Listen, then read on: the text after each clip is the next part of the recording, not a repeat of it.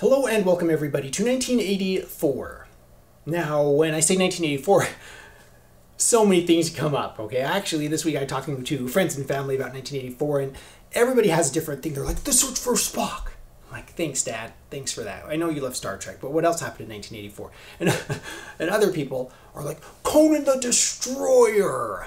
I know a lady who might have just watched that like all the way through like her young young years because she loved Arnold. It's just it's just interesting how you know Beverly Hills Cop was one of my favorite movies. I love Beverly Hills Cop. It cracks me up. 1984 was an, an awesome year for film. Like look at the list. It's like The Last Starfighter. There's so many interesting things that came out. I guess maybe that's one of those movies that hasn't aged very well. And who won the Masters? Let me think. What was his name? Oh, it's right here on this Haig Ultra Iron. Crenshaw. Ben Crenshaw. Do you remember his putt? Was that the year he had this awesome putt? Eh, anyway, from like 90 feet out.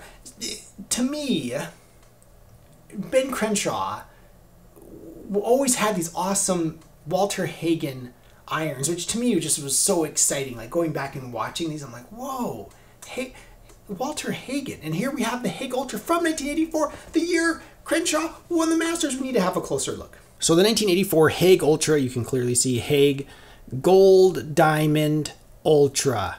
There's a shiny vintage golfer down here reflecting off the muscle. We have a light reflecting off the heel. All right, let's get down to it. Crenshaw Grind down here on the top, the aft portion of the top line. Now, this is recessed. I'm not sure if you'll be able to see it clearly. I want to show you the toe profile so you can see that little crimp right here. And then it muscles out back down here. And there's another little crimp down here. Again, not sure if you're going to be able to see that through the toe profile. The sole, it has the six, and I love it how they put the dots instead of a line. So we know it's a six. Walter Hagen signature. And then we have the bore through hosel right here. We'll spin around, show you the top line, navigate my sea of stands. It looks pretty clean. It's a little pointy, not too pointy. Semi-round toe right there. I'm not seeing any offset there. It looks really good. The grooves have this no nonsense, just grooves. Oh man, they feel sharp. They feel good. And then as we move up the hosel, we can see it's like fluid feel like the Wilsons of the day because the Hagens were made by Wilson. Fluid feel Hagen. Normally there's not a gap here. This one's just slipped up a little. I don't, they can't be bothered to fix it. Black ferrule, two gold stripe.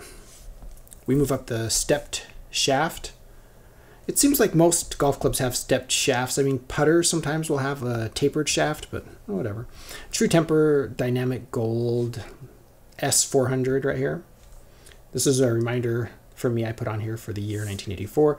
And this looks like the Wilson serial number or something right here. And then this looks like a Newman leather grip with the Walter Hagen crest up here on the heel, the butt, the heel, the butt of the grip. Is that right? No, I can't, it doesn't, maybe it'll be more clear on the camera, but I'm having trouble seeing that in real life. Newman, yeah. Genuine leather. Anyway, let's see if a duffer like me can hit some blades. It's funny because I have blade sets, but whatever. Let's go to the range and see how it does.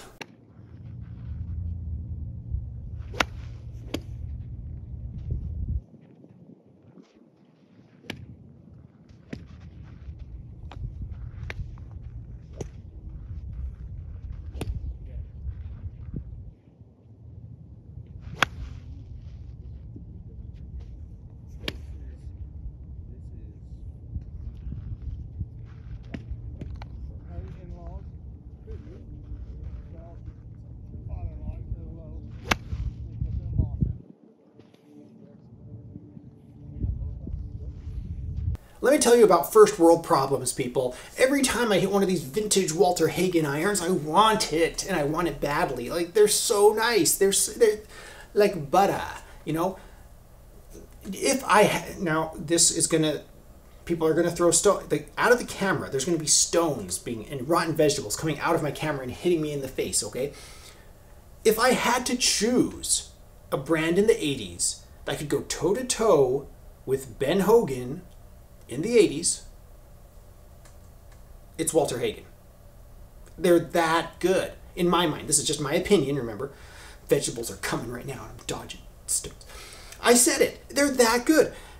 I have a set of 70s Walter Hagen. Great. So I have the Ultradyne Woods, I have the Haig Ultra Irons. It's a lovely set, okay? But every time I hit a different Haig Ultra, this is, I mean, I want this set. In the 80, Crenshaw won in 84 at the Masters. So that's my feeling. I might be actively looking on eBay for another set of these. This is becoming a problem. Do they have Vintage Golf Anonymous? Because I might need to be sponsored. All right, let me know your thoughts with the Haig Ultra, and particularly 1984, because this is nice. This is Wilson's answer to Ben Hogan. If you want to support this channel, you can visit my Amazon shop. I'll put a link in the description below. I am an Amazon associate. I make proceeds from qualifying purchases. If you have a set of Haig Ultra 1984 irons that you want to sell me or just, you know, give me, you can email me at the hobbyphilic at gmail.com address. You can go to the About page and you can find that. I'm also accepting general support on Patreon. There's a few behind the scenes videos. I'd like to post a few behind the scenes things. Thank you so much for watching. Please subscribe. I am the Vintage Golfer.